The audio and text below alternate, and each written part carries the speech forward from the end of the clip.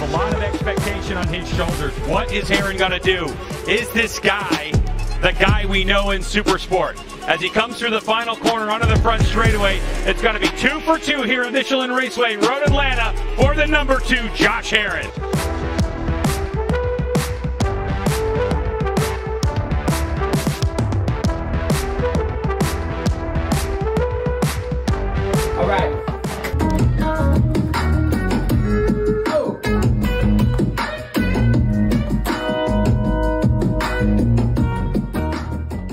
I laugh like SpongeBob SquarePants, whatever.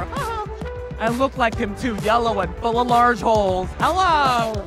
If I had a dollar for every time I broke up with a girl and then she slept with the dude she told me not to worry about the entire relationships, I'd have four dollars.